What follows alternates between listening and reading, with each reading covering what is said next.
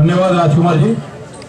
आ, जैसा कि मैंने कहा कि जिस प्रकार के थर्टीन पॉइंट का जो फरमान आया एक दलित एक्टिविस्ट होने के नाते मैंने कहा कि जब भी लड़ाई लड़ी जाती है तो लड़ाई केवल एक फ्रंट पे नहीं लड़ी जाती है। सड़क पे भी लड़ाई लड़ी जाती है सदन पे भी लड़ाई लड़ी जाती है। सड़क की लड़ाई हम लड़ रहे हैं धरना कर रहे हैं प्रदर्शन कर रहे हैं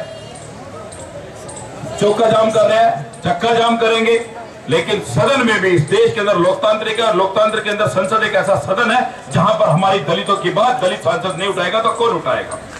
मैंने विनोद सोनकर जी हमारे नेता हैं, उनसे बात की।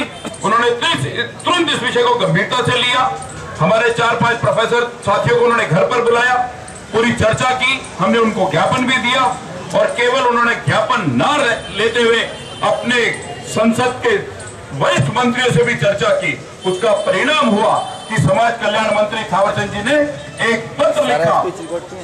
प्रकाश जावड़ेकर जी को कि यह फरमान वापस लिया जाए। मैं विनोद सोनकर जी का बहुत बहुत धन्यवाद दूँगा आभार दूँगा जिन्होंने ये बात सदन में भी रखी सदन में बाकी सांसदों के बीच में भी रखी। और मेरा पूरा विश्वास है दलितों की लड़ाई में इस वंचितों की लड़ाई में विनोद सोनकर जी पूर्व भी और अब भी ये लड़ाई लड़ते रहेंगे और हमारा इनका सहयोग और हमारे एक आवाज़ में बिना किसी लाग लपाट के कि दलितों का विषय दलितों के विषय के लिए मैं चल कर आऊँगा, वंचितों की लड़ाई में लड़ूँगा और हमारे बीच में मैं उनका खुना दिल्ली विश्वविद्यालय ज्वाइंट एक्शन कमेटी की ओर से मैं आपका हार्दिक अभिनंदन करता हूँ, आभार प्रकट करता हूँ। हमारे बीच में रमेश चंद्र रतन जी भी हैं, आप भी दलितों की लड़ाई लड़ते रहे हैं। मैं उनका भी अभिनंदन करता हूँ, हार्दिक स्वागत करता हूँ। बहुत बहुत धन्यवाद।